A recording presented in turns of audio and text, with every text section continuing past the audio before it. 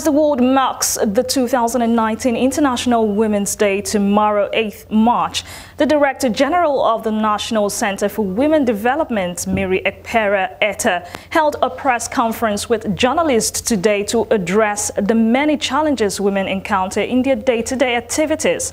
Our correspondent, Patience Daniel, was there and completes the report. As the theme for this year's Women's Day celebration is themed Think Equal, Build Smart, Innovate for Change. The Director General of the Center for Women Development, Mary Ekpere called on women in different fields to wake up to the challenges that the society throws by encouraging women to leave their comfort zone and start seeking opportunities even in the male-dominated fields if they must break the already established stereotypes.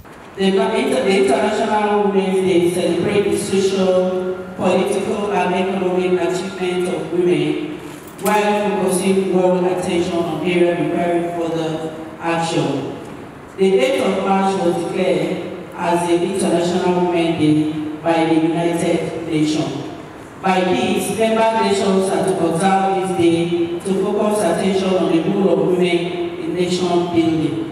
As a member nation of the United Nations, Nigeria, like our counterpart the world over, observe this special day to celebrate women, is to provide women an opportunity to evaluate, for, to women the opportunity of evaluating their contribution in all phases of women endeavor and to plan strategies for further effective participation. Women from various walks of life further emphasized their points in regards to the theme of the year's International Women's Day.